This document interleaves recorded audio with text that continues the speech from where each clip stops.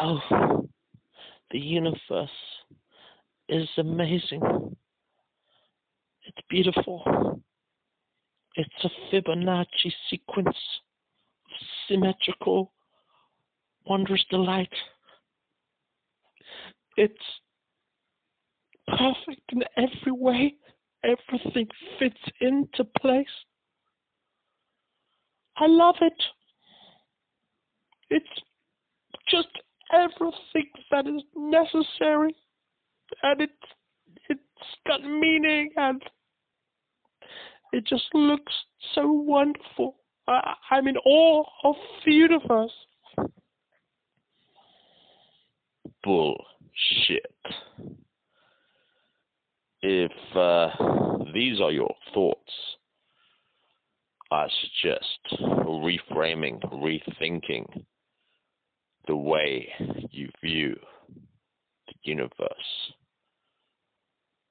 Because you're deluded, you're myopic in your observations, you're not really taking in what is going on. Perhaps you're looking at the imagery from too far away. I suggest you zoom in look at the individual pixels that make up this megapixelation. And you'll see differences. You'll see strange occurrences, freakish moments that shatter your illusions of some kind of heavenly purpose for this monstrosity that is material existence. I'm afraid your notions of perfection are fundamentally flawed. There is no perfection in this universe. There is no thing, no person who can stand up to your protestations that this universe is magical, wonderful, and unblemished. We are all one way or another. We are whimsical, flimsy, idiotic morons. And most of us have biases that in themselves represent a monstrous movement from being in eternal balance. Look at this earth. Do you really think it is in balance with the universe? Do you think it's perfect? Constant suffering, constant anxiety of animals looking for food. The satiation is but a short moment, and then the hunger games begin. More killing, more dying. Praise be the freaks that walk amongst us, that shock us to the core, that show us that we are moronic. We are scared when we see them. We bully them when we're children. But they, they show us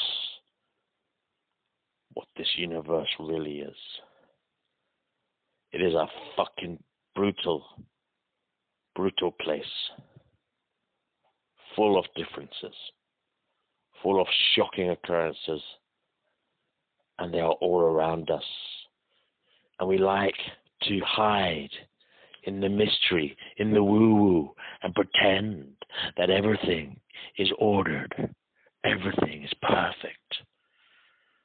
And then we get visited in our own lives.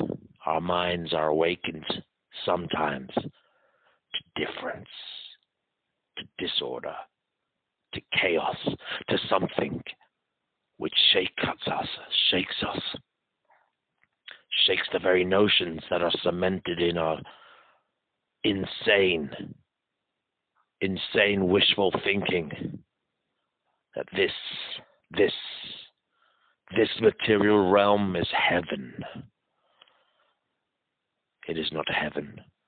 There's ample evidence to show otherwise. There is ample evidence to demonstrate otherwise. There is empirical data. And you yourself, you yourself, will feel that empirical evidence as you grow, as you observe your loved ones, your friends falling apart, falling apart at their very seams. All their woo woo, all their delight in this material realm will come to nothing. They will decay. They will fall apart. They will suffer horribly. They will die in excruciating agony. They will see the truth. Maybe they won't be able to speak it. Maybe they won't even be able to mentally disentangle it, disentangle it from their prior held convictions that life is glorious, existence is wonderful but they will feel the wrath, the wrath of the truth, the truth that is all around. And so, so will you.